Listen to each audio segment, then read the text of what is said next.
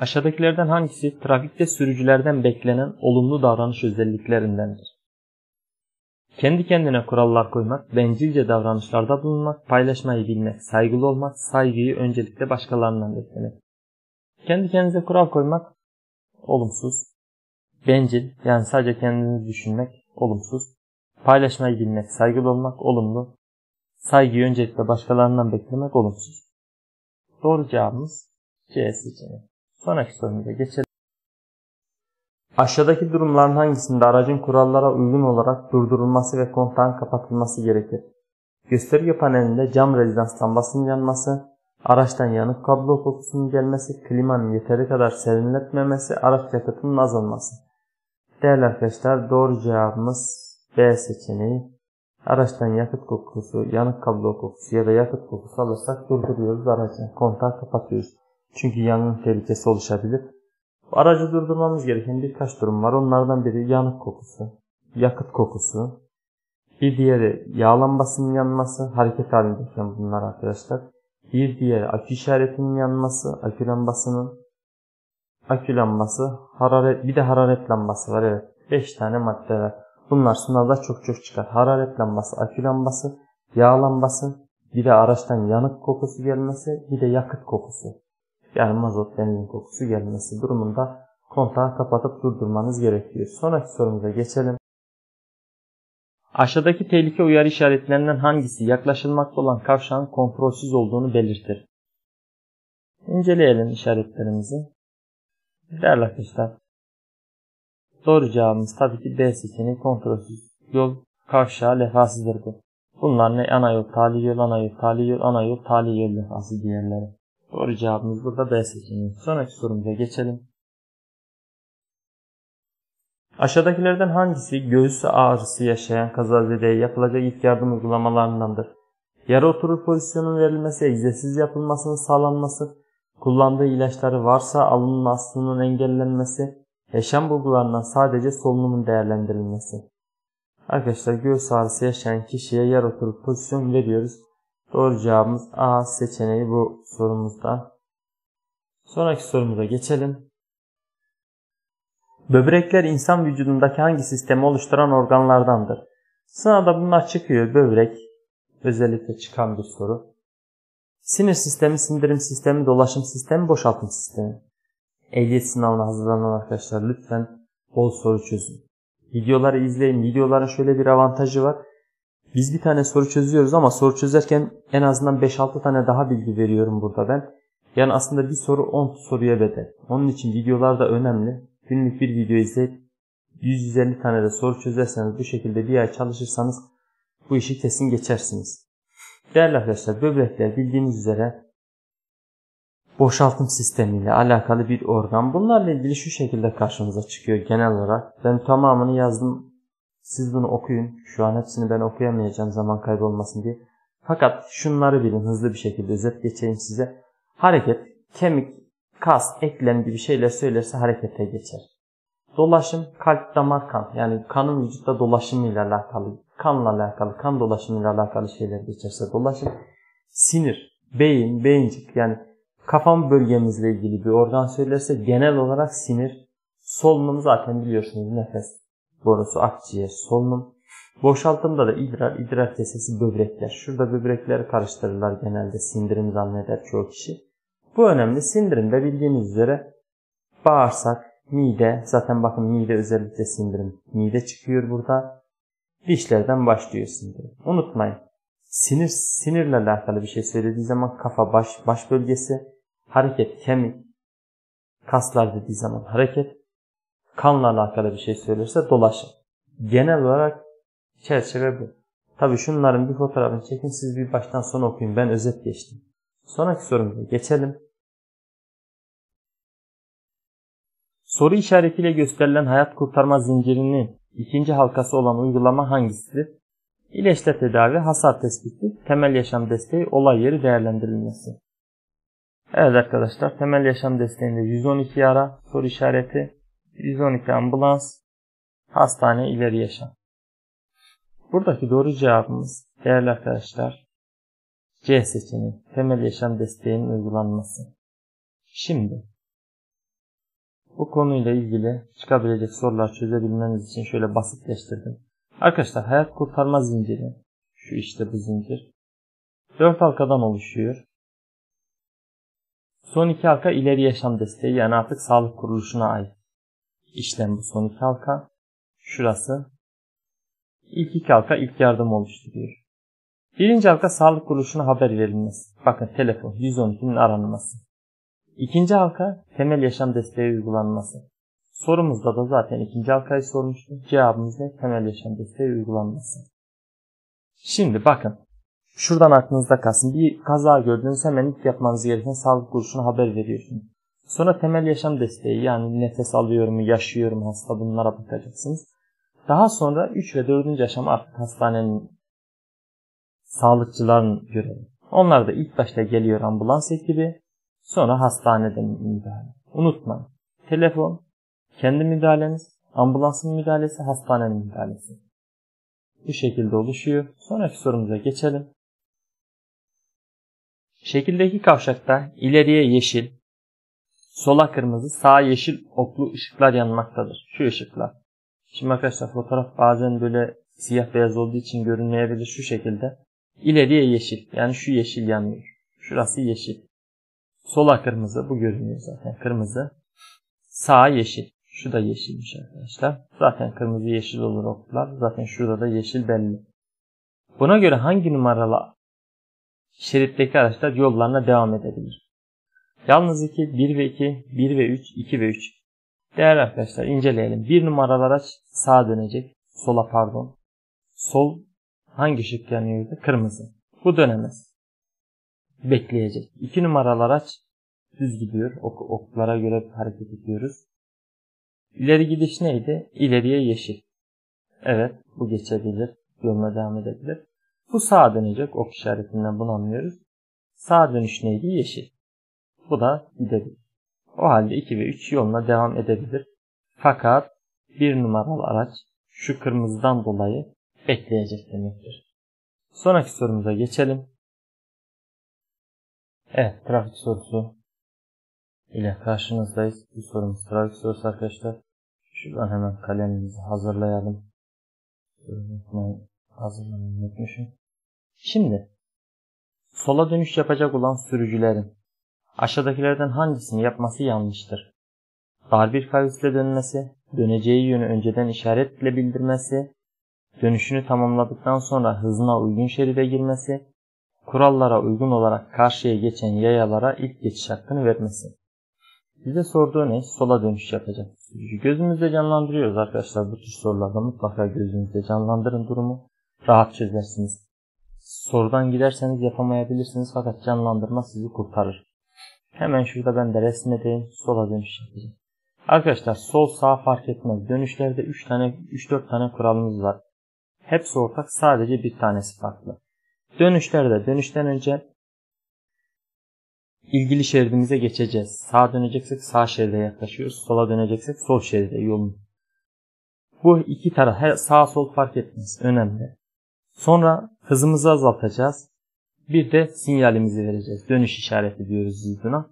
Sinyal. Bu üçü ortak. Bir tane farklı var. Dördüncü maddemiz o da sola dönüşler geniş bir kavisle, sağa dönüşler dar bir kavisle.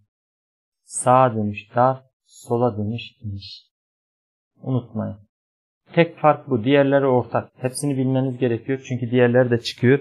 Arkadaşlar burada sadece sorudan ziyade benim söylediklerime odaklanın. Çünkü soruların aynısı çıkmasa bile anlattığım konu anlatımları sizi kurtarır.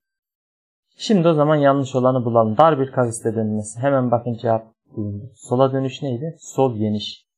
Sağ dönüşler darda. Unutmayın şurada hemen ben görselle anlatayım. Tek tek okumayacağım. Bakın arkadaşlar. Şu kuralların hepsi aynı. Sinyal vermek, hızını azaltmak, dönüş yapacağı şeride geçmek aynı. Sadece fark ne? Bakın sağa dönüş dar. Bak dar bir dönüş yapıyor. Sola dönüş geniş bir kaz. Tek fark bu. Sonraki sorumuza geçelim. İlk yardımcı olarak bulunduğunuz güvenli olmayan olay yerinde kazazedelerden biri başında, boynunda ve sırtında ağrı olduğunu, bacaklarını hareket ettiremediğini söylüyor. Ayrıca kazazedenin burnundan ve kulağından kan geliyorsa bu kazazedeyi daha güvenli bir ortama nasıl taşırsınız? A. Baş boyun gövde ekseni bozulmadan düz bir pozisyonda sürükleyerek. B. Kazazedenin gövdesini sağ omuza yerleştirip ağırlığı dize vererek. C. Omuzdan destek verip yürütmeye çalışarak. D. Kazazedeyi kucağa alıp ağırlığı yüklenerek. Değerli arkadaşlar şunlar çok önemli. Sınavda soru olarak geliyor. Bakın. Boyunda, sırtında ağrı önemli. Bacaklar hareket ettirememek önemli. Bir de şu baş yaralanmalar da önemli. Şimdi arkadaşlar bu tür durumdaki bir kişinin riski nedir? Felç olma riskidir. Omurilik zarar görme ihtimali var. Bu durumda A seçeneğini yapıyoruz. Ne yapıyoruz? Baş boyun gövde ekseni. Yani mümkün mertebe kişinin eksenini bozmadan minimum hareketle güvenli ortama taşıyoruz kişiyi. Bu kişiyi çok fazla hareket ettirmeyeceğiz çünkü e, felç riski var. Çünkü şuradan anlıyoruz felç riski olduğunu. Sonraki sorumuza geçelim. Aşağıdakilerden hangisi araç güç aktarma organına aittir? Şaft, alternatör, marş motoru, amortisör. Ehliyet sınavında bu güç aktarma organları soru olarak kesinlikle geliyor. Onun için bilmeniz gerekiyor. Doğru cevabımız A seçeneği şaft. Şimdi güç aktarma organlarıyla karşımıza ne çıkabilir? İşte bu çıkar arkadaşlar. Bu fotoğraf çıkar. Şuraya soru işareti koyar. Bunun ismi nedir? Şuraya soru işareti koyar. ismi nedir? Bunun fotoğrafını çekin telefonunuzda dursun. Fakat burada bir de çıkarsa diferansiyeli soruyorlar. Onda nasıl soruyorlar? Ekstra farklı bir şekilde. Arkadaşlar diferansiyelin görevi nedir? Virajlarda aracın daha kolay hareket edebilmesini sağlar. Dönüş sırasında iç ve dış tekerlekler arasındaki hız dengesini kurar. Diferansiyel özel bir parça virajlarda aracın dönüşünü kolaylaştırır. Şu iki tekerin birbirinden bağımsız ya da sayısı olarak bağımsız hareket etmesini sağlar. Bu özel bir parçadır. Diğerlerinin isimlerini bilirseniz yeterli. Sonraki sorumuza geçelim. Geceleyin arkasındaki aracın geçme uyarısını alan araç sürücüsünün aşağıdakilerden hangisini yapması doğrudur? Yani arkanızda bir araç var gece sizi geçecek. İşaret nedir? Sinyal vermiş. Hangisini yapmanız doğru bu durumda? A. Arkadaki araç sürücüsüne sinyalle geç işareti vermesi. B. Hızını sabit tutması, gerekirse yavaşlaması. C. Uzağa gösteren lambaları yakması. D. Taşıt yolunun soluna yaklaşması. Doğru cevabımız tabii ki B diyenler doğru yanıtladı. Hızınızı sabit tutacaksınız. Gerekirse yavaşlayacaksınız. Yardımcı olacaksınız sollama yapan arkadaşa. Geçelim sonraki sorumuza. Aşağıdakilerden hangisi 4 zamanlı bir motorun çalışma zamanlarından biri değildir? İş zamanı, marş zamanı, emme zamanı, sıkıştırma zamanı. Tabii ki doğru cevabımız marş zamanı. Şimdi motorlardaki zamanlar şunlar. Onları bilin. 4 zamanlı ve 2 zamanlı olarak ayrılır ikiye motorlar. 4 zamanlılarda isimlerini bilin arkadaşlar. Emme zamanı, sıkıştırma zamanı, ateşleme zamanı, egzoz zamanı. Bunları da ayrıca detaylandıracağız ilerleyen bir videoda ya da daha önceki videolarda detaylandırdım. Emme zamanında ne oluyor? Sıkıştırma zamanında ne oluyor? Bunları tek tek anlatıyorum ben. Eski videolar onun için izleyin diyorum. Orada anlattım. İlerleyen günlerde bir kere daha anlatacağım. Bu zamanları ezberleyin. Emme, sıkıştırma, ateşleme, egzoz. İki zamanlı motorlarda da bu şekilde zamanlar var. Birinci zaman, ikinci zaman olarak.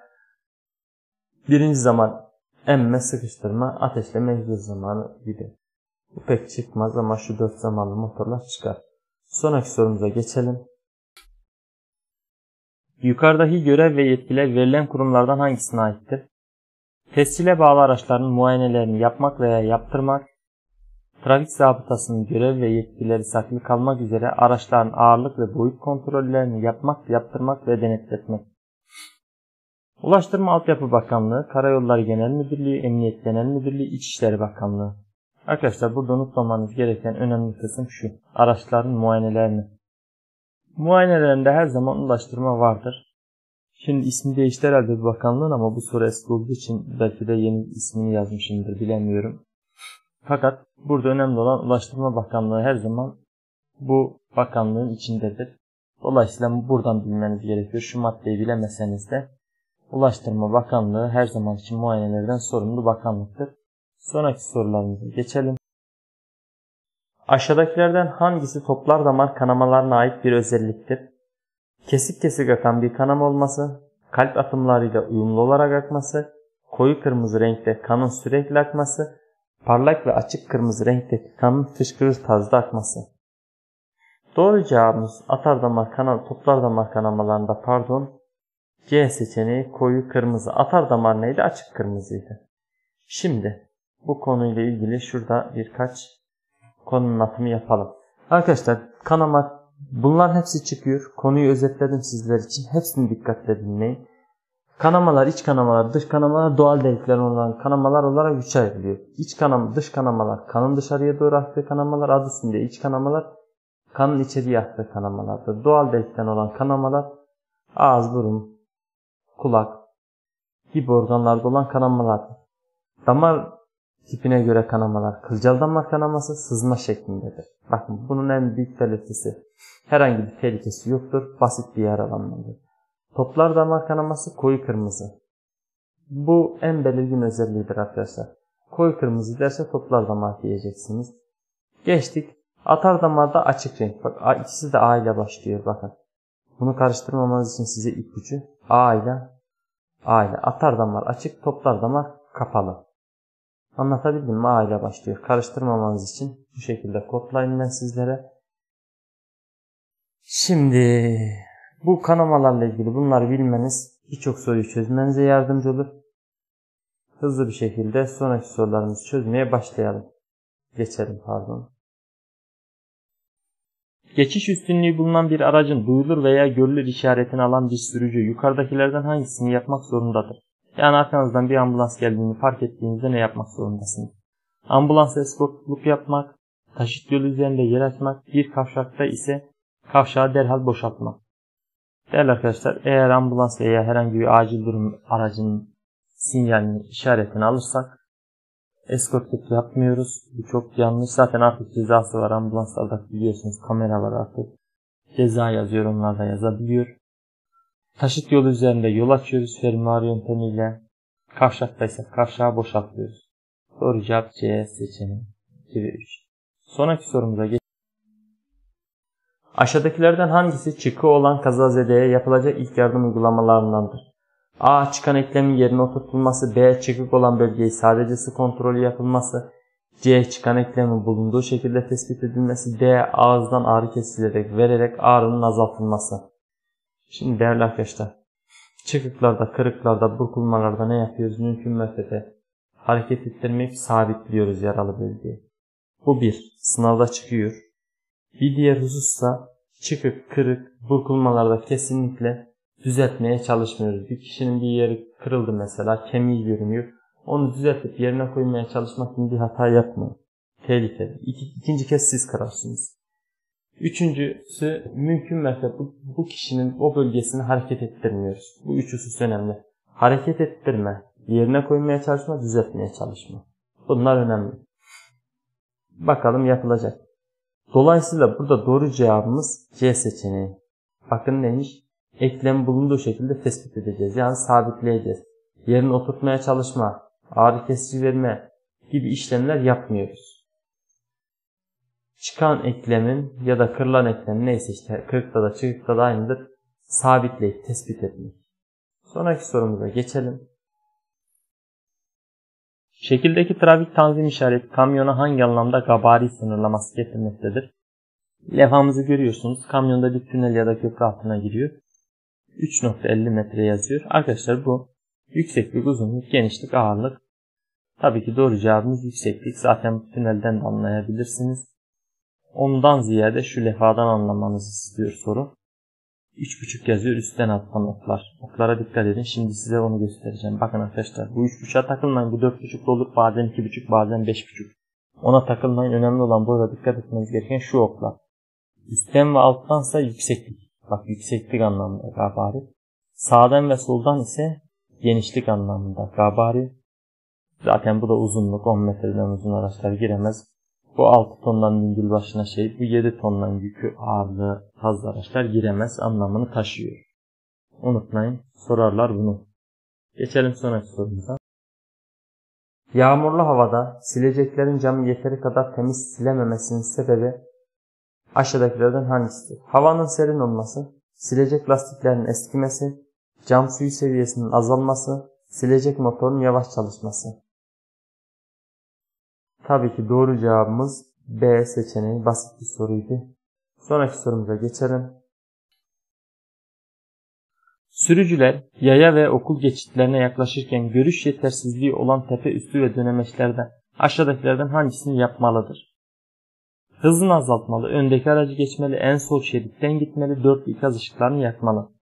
Arkadaşlar yaya geçidi, okul geçidi, sürücüden dikkat etmesi gereken yerler aynı şekilde tepe üstü ve dönemeçler. Niçin ilerisini göremez? Mesela okul geçidinde ilerisini gör bir çocuk ve benzeri bir durum oluşabilir, yaya çıkabilir. Tepe üstlerinde de ileriyi göremez. Dönemeçlerde de ileriyi göremez.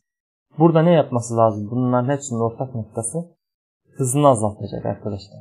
Burada bu bölgelerde hızınızı azaltacaksınız. Zaten okul yaya geçitlerinde 30'dur hız. Bir de arkadaşlar bunlar sollamanın yasak olduğu yerlerde. Yaya geçitlerinde, okul geçitlerinde, tepe üstlerinde, dönemeçlerde sollama yapamazsınız. Bakın öndeki aracı geçmemelisiniz. Bak geçmeli yazmış ya bu yanlış. Öndeki araç geçilmez. Bu da önemli bu da çıkıyor. Bakın yaya geçidi, okul geçidi, tepe üstlerinde, dönemeçlerde öndeki araç geçilmez. Sonraki sorumuza geçelim. Aşağıdakilerden hangisi araca binmeden önce yapılması gereken kontrollerdendir? Aynı ayarları, yakıt seviyesi, araç lastikleri, koltuk ayarları. Tabii ki doğru cevabımız araç lastikler. Arkadaşlar araca binmeden göz ucuyla da olsa lastikleri her binmede kontrol etmeliyiz. Unutmayın her gün değil, her ay değil, her hafta değil. Her araca bindiğinizde. Aynı ayarlar araca bindikten sonra yapılır. Bak binmeden diyor. Yakıt seviyesi yine araca bindikten sonra göstergeden bakılır. Koltuk ayarları da yine bindikten sonra yapılır. Fakat araç lastikleri binmeden kontrol edilmelidir. Sonraki sorumuza geçelim. Otoyolda 120 km saat hızla seyreden bir otomobil sürücüsü öndeki araçlar arasında en az kaç metre mesafe bırakmalıdır? Takip mesafesi sorusu sıkça çıkar. Cevabı nasıl biliyoruz? 122'ye böleriz. Cevap 60 çıkar. 100 deseydi 102'ye bölerdik 50. Arkadaşlar bu takip mesafesi ile ilgili her zaman ikiye bölüyoruz. Sadece bir istisna durum var burada. O da tehlikeli madde taşıyan araçlar. Onlarda en az 50 olması lazım. 50 metre yani. Şöyle ki mesela normal tehlikeli madde taşıyan bir araç 50 km hızla giderken kaç metre mesafe bırakmalı? 52'ye bölüp 25 derseniz yanılırsınız. Onlarda bir istisnai durum var. 50 metre en az. 50'nin altına inemez. İsterse 20 ile gitse bile 50 metre bırakacak mesafe. Sonraki sorularımıza geçelim. Trafik zabıtası veya trafik işaret lefası ve ışıklı işaret cihazı bulunmayan. Bunlar bulunmazsa biz bu kavşaklara ne diyoruz? Kontrolsüz kavşak. Burada ne demiş? Bakın kontrolsüz kavşaklar. Aşağıdakilerden hangisinin yapılması yanlıştır? Tali yoldan ana yola çıkan sürücülerin ana yoldan geçen araçlara yol vermesi. Dönüş yapan sürücülerin doğru geçmekte olan araçlara yol vermesi. Bütün sürücülerin geçiş üstünlüğüne sahip araçlara yol vermesi. Motorlu araçlardan sağdakinin soldan gelen araca yol vermesi. Bakın arkadaşlar, tali yoldan gelen ana yoldan gelene yol vermesi doğru bir davranış. Dönüş yapan sürücüler doğru geçenlere yol verir. Bu da doğru bir davranış. Bütün sürücüler geçiş üstünlüğü ambulans, itfaiye gibi araçlara yol verir. Motorlu taşlardan sağdakinin soldan gelen araca yol vermesi yanlıştır. Şöyle söyleyeyim. Şöyle bir yol var. Çizimlerim biraz kötü arkadaşlar. idare edin artık. Yapacak bir şey yok. Resimler kötüydü. Yani şurada bir araç var mesela. Burada da bir araç var. Hangisi önce geçer? Mesela A aracı diyelim, B aracı diyelim. Bu A aracı düz gidiyor. B de düz gidiyor. Hangisi önce geçer? Tabii ki A aracı önce geçecek. Çünkü neden? B aracının sağında. Fakat burada ne demiş? Solda. Her zaman için sağdan geçenler öncelikli. Resimde pek anlatamadım ama o idare edin arkadaşlar. Sonraki sorumuza geçelim. Basit bir soru. Şekle göre numaralı araçlardan hangileri hatalıdır? Park hatalı yapmıştır. 3 çizgiye basmış, 1 çizgiye basmış. 2'de herhangi bir hata görünmüyor. Doğru cevap 1 ve 3 hatalı olanlar soruyor bize. Sonraki sorumuza geçelim. Şekildeki trafik işareti aşağıdakilerden hangisini bildirir? İşaretimizi inceleyelim. Yaya bölgesi yazıyor. 816 bir tane de yuvarlak içerisinde motosikletli arabanın çarpı. Şıklarım 8-16 saatler arasında yayaların yola giremeyeceğini, 8-16 saatler arasında motorlu taşıtların yola girebileceğini, 8-16 saatler arasında yolun motorlu taşıt trafiğine kapalı olduğunu, 8-16 saatler arasında motorlu taşıtların yol kenarına park yapabileceğini. Doğru cevabımız tabii ki C diyenler doğru yanıtladı. Peki neden C? Arkadaşlar bir defa 8-16 saatleri çizgi var.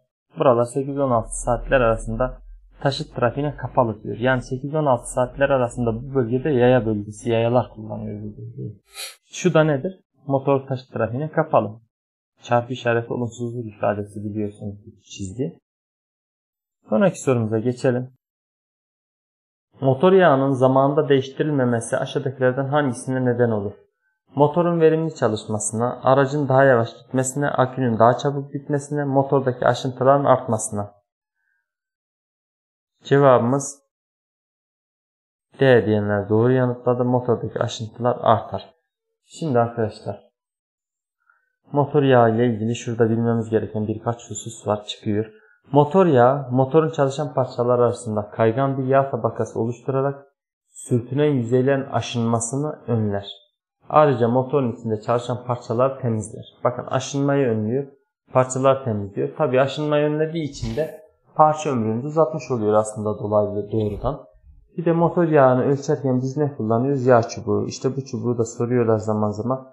Motor yağını seviyesini ölçtüğümüz özel göstergeli çubuğa yağ çubuğu diyoruz. Sonraki sorumuza geçelim. Yine bir trafik sorusu. Verilenlerden hangileri kaza anında emniyet kemerinin kullanılmaması? Bakın bu önemli.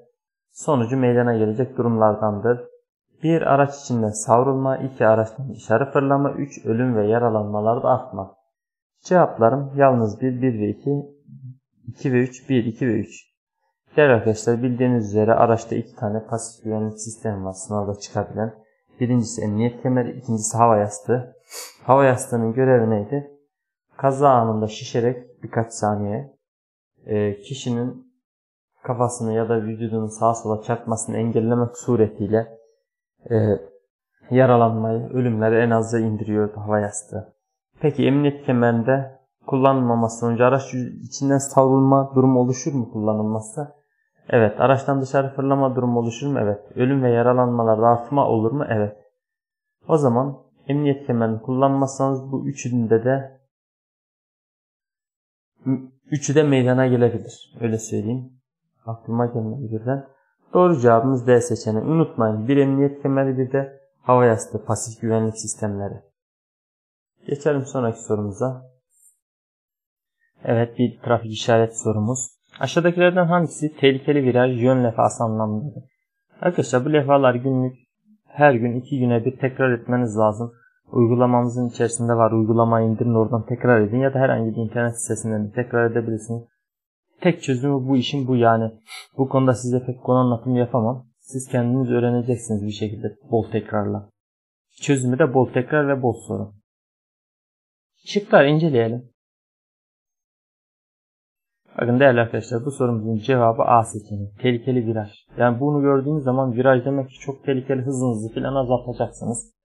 Unutmayın bu döner kavşak, bu sağa dönüş yasak, bu hem zemin geçit lefası. Bunları bu şekilde mutlaka her gün çözün. Bu konularla ilgili soru ya da bu konuların fotoğraflarını her gün bakın. Geçelim sonraki sorumuza. Evet, bir ilk yardım sorusu. Bebeklerde yapay solunumun uygulanması ile ilgili verilenlerden hangisi yanlıştır? A. İlk yardımcı ağzını bebeğin ağız ve burnunun içine alacak şekilde yerleştirilir. B. Bebeğin göğsünü yükseltmeye yarayacak kadar her biri bir saniye süren iki solunum verilir. Ağız içi gözle kontrol edilerek hava yolu tıkanıklığına neden olan yabancı cisim varsa çıkartılır. D. Bebeğin solunum yapıp yapmadığı hemlik manevrası kullanılarak bir dakika süreyle kontrol edilir. Değerli arkadaşlar sorumuz uzun fakat kolay. Solunum yapıp yapmadığı hemlik manevrasıyla kontrol edilmez. Bir dakika süre olmaz 10 saniye kontrol ederiz solunum şeyi. Bu önemli. Bir de hemlik manevrası değil arkadaşlar. Biz hemlik manevrasını nerede kullanıyorduk? Tam tıkanmalarda. Yani bir kişi eğer tam tıkanma yaşıyorsa herhangi bir şekilde hiçbir şekilde nefes alamıyorsa hemlik manevrası kullanıyoruz. Bu solunum kontrolünde işe yaramaz o yöntem. Burada doğru cevabımız D seçeneğidir. Sonraki sorumuza geçelim. Aracın gösterge panelinde şekildeki uyarı lambasının yanıyor olması neyi bildirir? İnceleyelim lambamızı. A. Lastik basıncının düşük olduğunu, B. El frenin çekil olduğunu, C. Sis lambalarının yandığını, D. Fren balatalarının bittiğini. Tabii ki doğru cevabımız D seçeneği fren balatalarının bittiğini bildirir. Sonraki sorumuza geçelim. Aşağıdakilerden hangisi trafik kazasında sürücünün asli kusurlu sayılacağı durumlardan biri değildir? Asli kusur neydi? Kesin suçlu. A. Kurallara uygun olarak park etmiş araçlara çarpmak. B. Geçme yasağı olan yerlerden geçmek. C. Kavşaklarda geçiş önceliğine uymak. D. Arkadan çarpmak. Şıklar tek tek inceleyelim. Kurallara uygun park etmiş araçlara çarpmak asli kusur sebebi midir? Evet. Geçme yasağı olan yerde, yerlerden araçları geçmek asli kusur sebebi midir? Evet. Kavşaklarda geçiş önceliğine uymak bir kusur mudur? Hayır. Asli kusur sebebi midir? Hayır. Arkadan çarpmak da yine asli kusurdur. O zaman doğru cevabımız ne? C seçeneği. Asli kusur olmayan C seçeneği var. Diğerleri asli kusurdur. Şimdi asli kusurlarla ilgili karşımıza çıkabilecek birkaç madde var. Hepsine bir bakalım hızlı bir şekilde. Çünkü soruyorlar arkadaşlar. Kırmızı ışıkta geçmek, görevlinin dur işaretinde geçmek, taşıt giremez lefasının olduğu yerlerde geçmek, yine fark, yanlış şeride girmek, arkadan çarpmak özellikle asli kusurların en büyüğü bak arkadaşlar. Arkadan çarpma ile ilgili de şöyle soru gelir. Arkadaşlar arkadan çarpma sebebi nedir genel olarak? Takip mesafesine uymamak. O da önemli.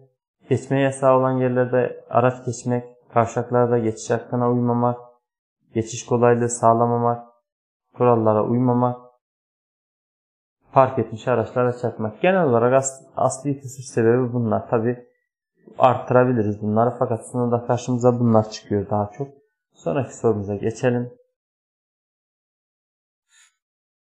Verilen davranışların yapılması aşağıdakilerden hangisine sebep olur? Gereksiz yere korna çalınması, egzoz susturucuların orijinalliğinin bozulması, araç camlarının açılarak yüksek sesle müzik dinlenilmesi. Şıklarım yolculuğun huzurlu geçmesine, yolculuk süresinin kısalmasına, trafiğin hızlı akmasına, gürültü kirliliğine. Arkadaşlar dikkatimizi çeken şey ne? Korna, egzozun susturucusunu bozmak, yüksek sesle müzik. Bunların geneli dikkat ederseniz gürültüye yönelik şeyler. Doğru cevabımız bu soruda tabii ki D seçeneği. Bunlara müdahale edersek gürültü kirliliğine sebebiyet vermiş oluruz. Sonraki sorumuza geçelim. Solunum yolu tıkanıklığı yaşayan bir kazazidenin konuşamadığını, nefes alamadığını, renginin morardığını ve acı çekerek ellerini boynuna götürdüğünü gözlemlediniz. Bu durumda aşağıdaki ilk yardım uygulamalarından hangisinin yapılması uygun olur? Üçgen bandaj uygulanması, hemlik manevrası, turnike uygulanması, rentek manevrası. Değerli arkadaşlar, bu kişi konuşamıyor, nefes alamıyorsa nefes solunum yolu tıkanmıştır. Buna biz hemlik manevrası uyguluyoruz. Solunum hemlik. Turnik uygulaması neredeydi? Uzuv kopmalarında, kana durdurulamayan kanamalarda rentek manevrası araç içerisinden çıkartmada kullanıyorduk. Şimdi hemlikle ilgili çıkabilecek sorular şuraya ben not aldım. Bakın arkadaşlar tam tıkanmada hemliği uyguluyoruz. Eğer bir kişi tam tıkanma değil de nefes alabiliyor, az da olsa konuşabiliyor fakat boğazında bir yabancı cisim varsa bu kişiye hemlik uygulamıyoruz, öksürmeye teşvik ediyoruz. Eğer hiçbir şekilde nefes alamıyor, şuradaki gibi bak, acı çekiyor elini boynuna götürüyor, konuşamaz rengi morardıysa hemlik uyguluyoruz. Unutmayın. Şimdi hemliğin fotoğrafı da bu. Bunu da soruyorlar. Bir de hemliğin aşamaları var. Onu şurada hem resmi var hem de şurada yazılı hali var. Onları siz okuyun. Nadiren de olsa bu aşamalardan da soru çıkıyor. İlk başta arkasına geçeceksiniz. Sonra işte elinizi buraya koyacaksınız. Sonra bastıracaksınız filan. Aşamalar bunlar. Sonraki sorumuza geçelim. Evet yine şekilli bir soru. Taşıt yolu üzerine çizilen şekildeki çizgilerin anlamı nedir? Şimdi çizgileri inceleyelim. Evet şıklarımız. Yavaşlama çizgisi, taralı alana girilmez, bölünmüş yol başlangıcı, taralı alan içine park edilebilir. Değerli arkadaşlar bu arada kanalımıza abone olmayı unutmayın. Sizden ricam lütfen abone olun. Benim motivasyon kaynağım abone sayısı, beğeni sayısı, uygulamada indirilmiş kişi sayısı. Lütfen abone olun, uygulamamızı indirin. Uygulamanın linkini açıklama kısmına bırakıyorum. Evet bu sorumuzun cevabı arkadaşlar taralı alana girilmez. Fotoğrafa iyi bakın çıkıyor çünkü bu sık sık. Bir de yol üzerine çizilen birkaç işaret daha var. Onlar da çıkıyor. Onlar da size göstermek istiyorum. Bakın şimdi bunlar çıkıyor. Arkadaşlar bu işaret yaya geçidi. Bu da yaya geçidi. Bakın ikisi de yaya geçidi. Bu yavaşlama uyarı çizgileri. Yol üzerine çiziyor arkadaşlar bunlar lefaya değil. Yani bu işaret bak giderek sıklaşıyor, yavaşlıyorsun. Giderek daha da fazla yavaşlaman gerektiğini gösteriyor aslında bu giderek sıklaşması bu işaretin. Bu da neydi? Engelli park alanı. Yol yere çizilmişse engelliler için ayrılmış alan anlamına geliyor. Unutmayın yaya geçitleri, yavaşlama uyarı çizgileri, zaten sorumuzda da tar alanına girilmiyor. Bunları bilmeniz sizin için iyi olur. Sonraki sorumuza geçelim. Değerli arkadaşlar videoları beğenip kanala abone olmayı unutmayın. Sizden ricam lütfen abone olun. Abone olmanız benim motivasyonumu olumlu yönde etkiler. Motivasyonum artar daha çok video çekerim. Kalbi durmuş olan bir kazazedede aşağıdaki belirtilerden hangisi gözlemlenir? Göz bebeklerinin genişlemesi, solunumun yüzeyselleşmesi, kan basıncının artması, nabzın yavaşlaması. Doğru cevabımız burada A seçeneği. Bunu detaylandırmıyorum çünkü bir önceki videoda bir ya da iki gün önce detaylıca bu konuyu anlattım. Arkadaşlar bazı günler bazı soruları detaylandırıyorum. Mesela dünkü detaylandırdığım soruları bugün detaylandırmıyorum. Onun için videoların tamamını izlemeye gayret edin. Şu an ilk defa izliyorsanız videoyu gidip eski videolarda izleyin. Çünkü mesela burada 10 tane soruyu detaylandırıyorum. Dün de farklı bir 10 soruyu detaylandırdım. O şekilde gidiyoruz. Çünkü hepsini detaylandıramıyoruz. Zamanımız fazla yok. Onun için mutlaka ama mutlaka eski videolarda izleyin. Sonraki sorumuza geçelim. Aşağıdaki trafik tanzim işaretlerinden hangisi taşıt trafiğine kapalı yol anlamındadır? İnceleyelim. Doğru cevabımız A seçeneği. B neydi? Girilmez. Yani ters genelde tek yön yollarda olur. Ters yöne girilmez anlamında taşır. Bu kamyonlar için öndeki aracı sollamanın yasak olduğu yer anlamına Yine bu C seçeneğinde motosiklet hariç motor taşıt trafiğine kapalı yol anlamına geliyor. Burada doğru cevabımız A seçeneği. Sonraki sorumuza geçelim. Aşağıdakilerden hangisinin her periyodik bakımda değiştirilmesi gerekir? Polen filtresinin, fren hidroliğinin, araç lastiklerinin soğutma suyunu. Değerli arkadaşlar doğru cevabımız A seçeneği diyen arkadaşlar doğru bildi. Arkadaşlar polen filtresi biliyorsunuz klima filtresidir. Klima filtrelerin her periyodik bakımda değiştirilmesi gerekiyor. Zaten bizim ülkemizde tozlu bir ülke mutlaka değiştirin. Gerek sağlık. Diğerlerini inceleyelim. Fren hidroliği arkadaşlar servis kilometresi ya da yılı vardır. O zaman gelince değiştirilir. Araç lastikleri yine kullanıma bağlı ya da raf ömrüne bağlı değişiklik olur. Yine soğutma suyu da servisin kilometresi ya da servisin ölçtüğü değere göre değiştirilir. Fakat polen filtresi yıllık bakımlarda değiştirilir. Bununla ilgili şurada kısa bir açıklama yapayım. Arkadaşlar araçlarda bulunan filtreler. Filtre demişken buradan çok soru çıkıyor diye bunu hemen göstermek istiyorum. Yakıt filtresi, benzin otomatiği, egzoz manifold, yakıt filtresi, hava filtresi, yağ filtresi, polen filtresi. Bunlar bak polen filtresi işte bu az önce gösterdiğimiz filtre. Şurası önemli. Araçlarda 4 tane filtre vardır. Bak buradan çok çıkar arkadaşlar. Dikkatle dinleyin. Yakıt filtresi yakıtı temizler. Yani yakıt şu. Şu yakıt filtresi yakıtı temizler. Hava filtresi motora giren havayı temizler. Adı üstünde bakın arkadaşlar. Hava filtresi. Polen filtresi klimanın araç klimadan gelen havayı temizler. O da şu. Yağ filtresi ise motor yağını temizler. O da şu. Değerli arkadaşlar bakın. Bu dört filtre çok önemli. Hayati filtre Arkadaşlar bunlar mesela yağ filtresi, polen filtresi her bakımda değiştirilmesi gerekiyor. Hava filtresi de yine değiştiriliyor. E, yalnız hava filtresi bakın servis kitabında belirlen kilometrede değiştiriyor. Yıllık değil. Yağ filtresi ve polen filtresi her bakımda değiştirilmesi gerekiyor. Bu filtreler önemli. Sık sık karşımıza çıkar. Öğrenmiştik. Öğrenmiş olduk en azından. Sonraki sorumuza geçelim.